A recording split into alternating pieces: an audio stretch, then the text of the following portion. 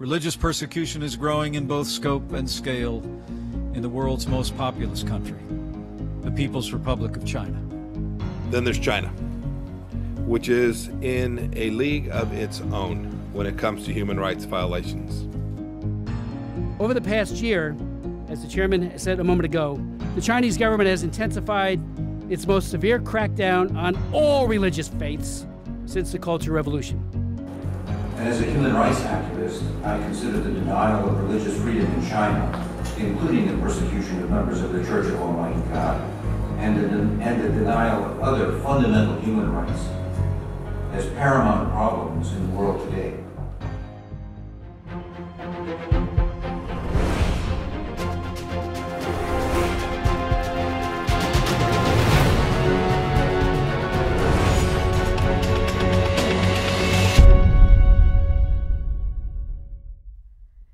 二零一八年初，中共全面实行新宗教事务条例，为习近平的宗教中国化披上合法外衣，并将国家宗教事务局纳入中央统战部，加大对宗教的管控和打压力度，更加赤裸地暴露出中共企图彻底取缔宗教信仰、消灭一切宗教的邪恶目的。中共将镇压迫害宗教信仰上升为一场政治运动。导致中国的宗教信仰状况全面恶化，上百万新疆穆斯林被关进再教育集中营，大量教堂、清真寺、佛寺、道观等宗教场所被强拆，家庭教会的一切信仰活动被取缔，大批基督徒遭到抓捕判刑，有的还被打残致死。就连三次教堂也被强制要求悬挂毛泽东、习近平画像。信徒被要求唱国歌、升国旗。在所有受迫害宗教团体中，全能神教会遭受中共迫害最为严重。据不完全统计，2018年至少有一万一千多名基督徒因参加信仰活动遭到抓捕，其中至少二十人被迫害致死。美国国务院发布的2018人权国别报告中提到。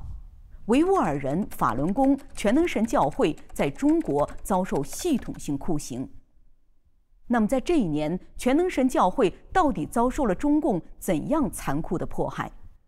本期专题节目带您一起了解事实真相。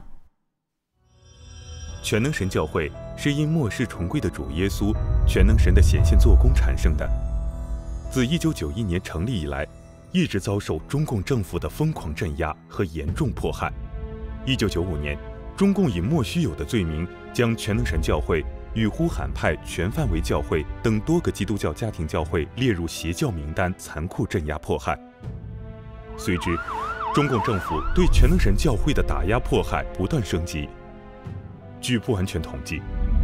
仅二零一一年至二零一七年底，至少四十万全能神教会基督徒遭到中共当局抓捕。教会建立至今。有据可查，被迫害致死的至少一百零五人。全能神教会之所以遭到中共如此残酷的迫害，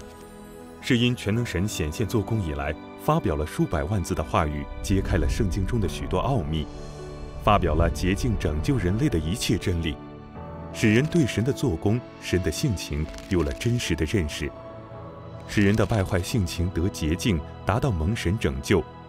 所以，考察接受全能神做工的人越来越多，教会发展迅速，这就引起了中共的极度恐慌与仇恨。下面我们将从五方面概述2018年中共镇压迫害全能神教会的罪恶事实。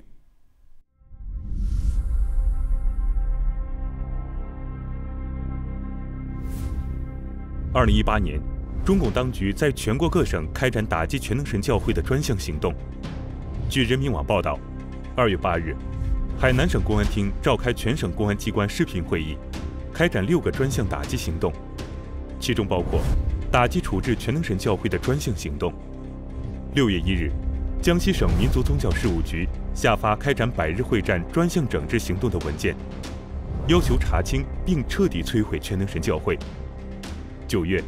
山东省招远市也开展百日会战行动，要求重点打击全能神教会，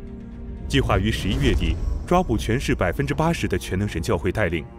此外，江苏、河南、辽宁、浙江、山西等各省也都发布了落实打击取缔全能神教会专项行动的红头文件，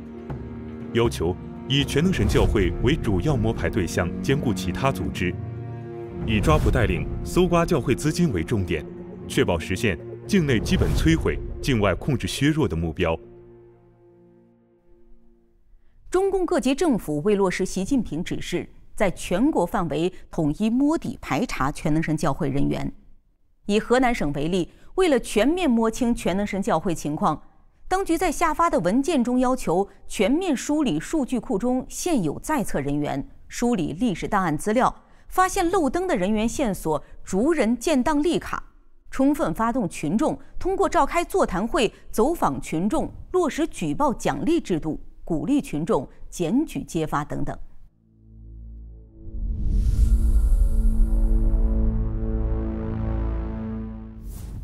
为了全面排查基督徒，中共不仅利用斥资千亿打造的天网工程，对各大中小城市的街道、机场、车站等公共场所和私人领域实施监控，还推动雪亮工程，在村口巷尾安装监控器，加大对农村地区的监控力度，在全国范围内实现全覆盖无死角监控，对居民实施网格化管理，设立网格员。配合警察上门逐一登记民众信仰情况，每天在楼内巡逻、挨家走访，记录与居民谈话内容，查身份证、查出租房，发动小区物业人员、退休老人、收废品人员、三次教堂信徒、学校师生等，全面有奖举报基督徒。对电动车、摩托车电子产品，统一安装监控器，跟踪监视基督徒。要求各大中小学校的学生。以及各单位职工、普通民众等都填写信仰调查表，掌握民众信仰情况，严格排查限制出境人员情况，对全能神教会基督徒没收护照、吊销签证等等。中共的大肆搜查、长期监控和骚扰，致使许多基督徒被抓捕，大量基督徒被迫离家逃亡，隐私权、生存权等被剥夺。中共的监控无孔不入，遍布全国。我们采访了来自新疆的两位全能神教会基督徒。我们教会的弟兄姊妹现在有有的弟兄姊妹教会生活都停止了。比如我要是去嗯另外一个小区的弟兄姊妹家，我就要刷他们的门禁卡。如果我要不刷门禁卡，我就只能刷脸。如果我去弟兄姊妹家去的多了，那我这个人就是他们所排查的对象。我们走在大街上，我们的一举一动就被那个高空摄像头查得一清二楚。交通要道和十字路口都设有警务室，不到一百米都有电子眼，随处可见的那种荷枪实弹的警察来回巡逻。但是警察他们还随时随地在路边，就是那种设卡拦下路人。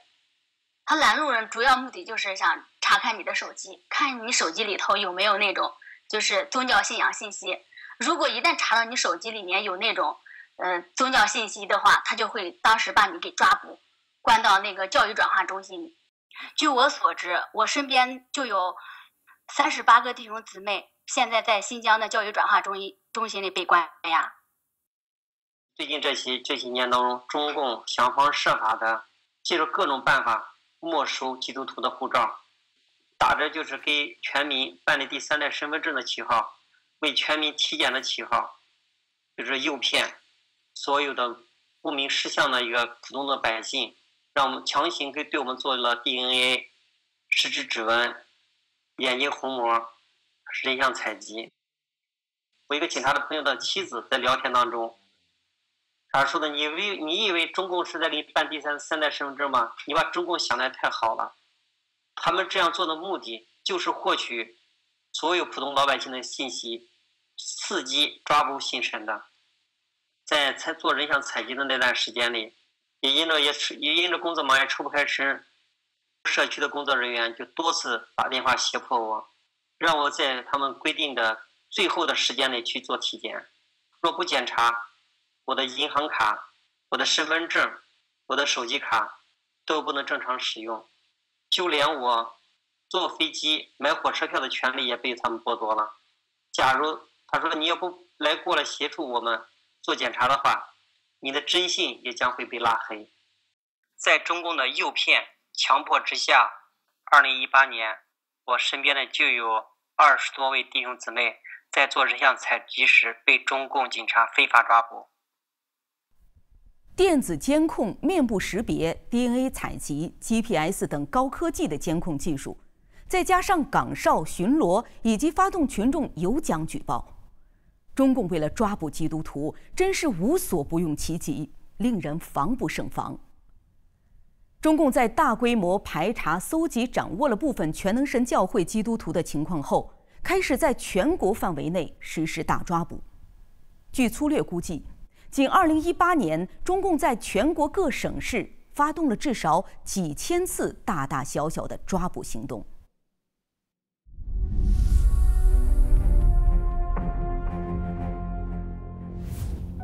二零一八年四月，江苏省某地公安部门下发机密文件，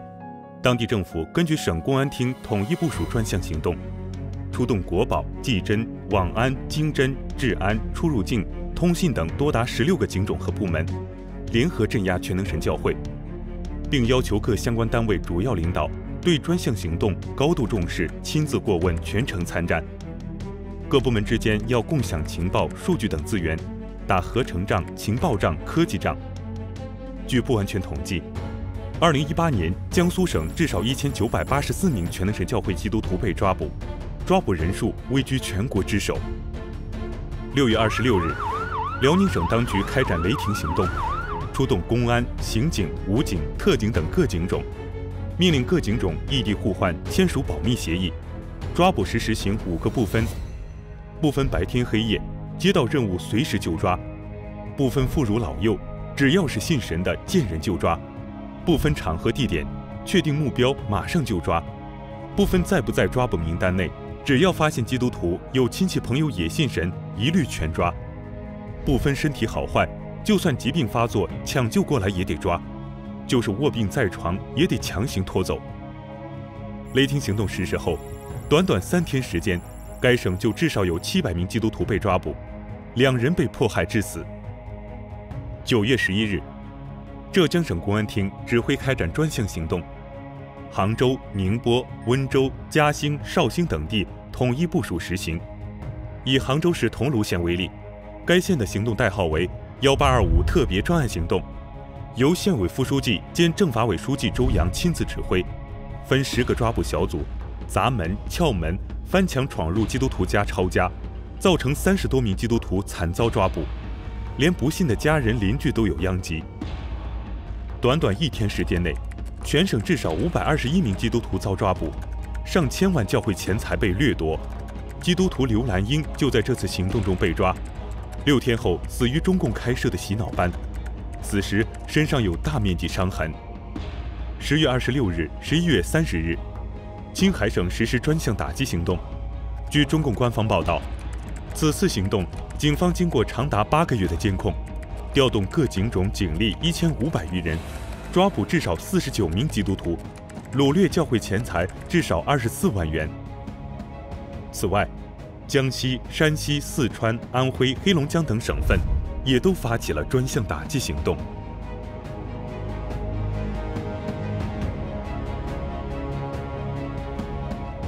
据不完全统计，二零一八年至少两万三千五百六十七名全能神教会基督徒遭警察上门骚扰或直接抓捕迫害，其中至少一万一千一百一十一人被抓捕，六千七百五十七人被拘留，六百八十五人遭酷刑或洗脑，三百九十二人被判刑，八人被重判十年以上。其中，山东省上层带领包曙光被判刑十三年。至少二十名基督徒被迫害致死，其中抓捕人数最多的为江苏省，之后依次为河南省、浙江省、辽宁省、山东省。其他各省份被抓数字，较二零一七年相比也均呈上升趋势。二零一八年成为继二零一二年以来受迫害最严重的一年。因迫害严重，大部分数据根本无法统计。以上数据仅是全能神教会基督徒受中共迫害的一小部分。中共除了对基督徒抓捕、酷刑折磨、施行肉体上消灭外，还施以精神上搞垮，对基督徒进行强制洗脑转化。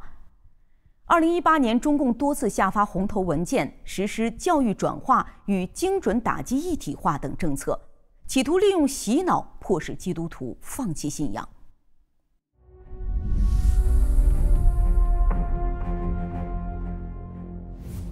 中共当局在全国三十一个省市自治区设立了不同形式的洗脑转化中心，包括各种新建的度假山庄、酒店、宾馆、学习班等。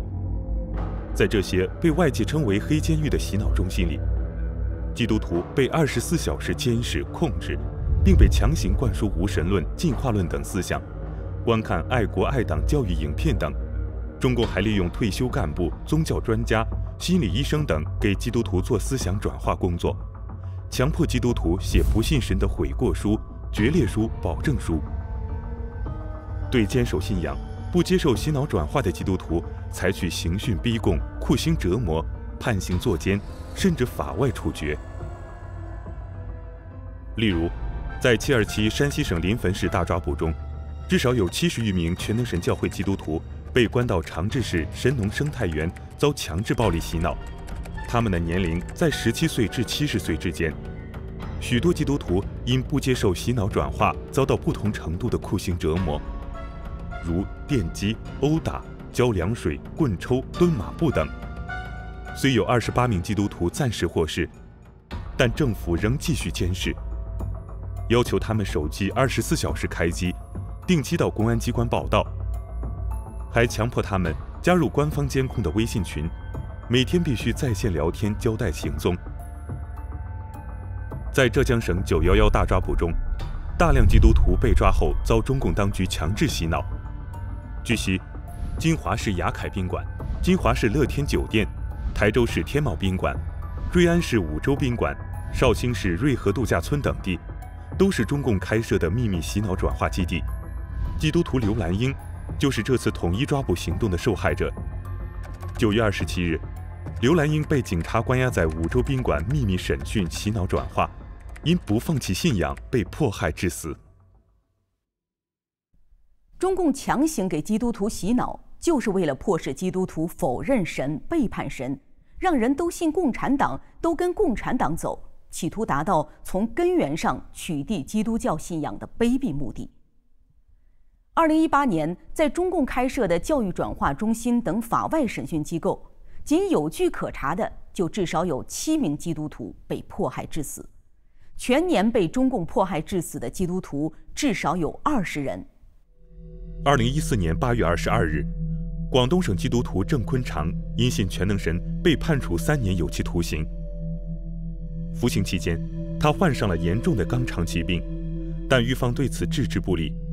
后来见他病情恶化，未经家人同意便私自给他动手术。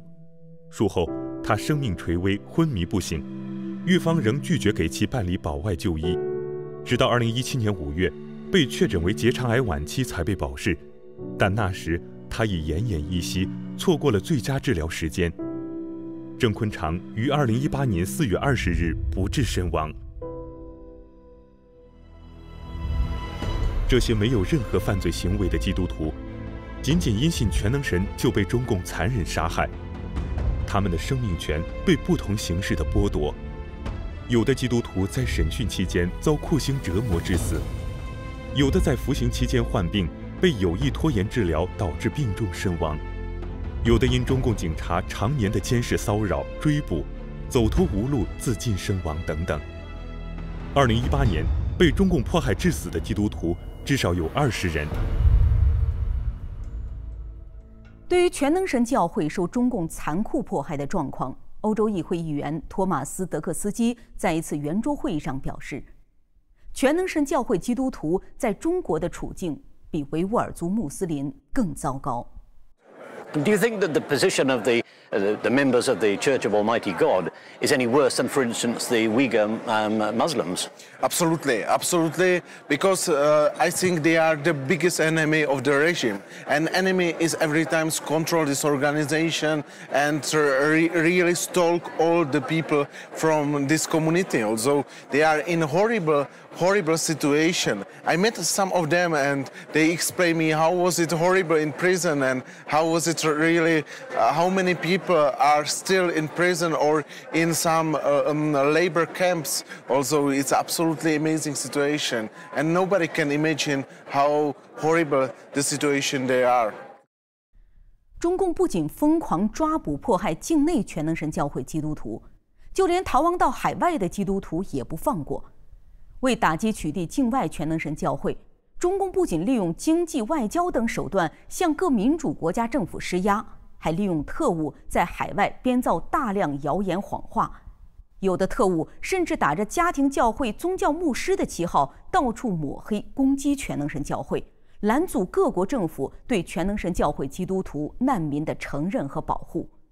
与此同时，中共还胁迫基督徒在中国的家属多次到海外寻亲。制造虚假示威，诬陷逃亡基督徒是假难民，企图迷惑、欺骗海外民主国家政府，迫使各国政府拒绝基督徒的政治庇护申请，以达到其把基督徒引渡回国、实现境外控制、削弱全能神教会的卑鄙目的。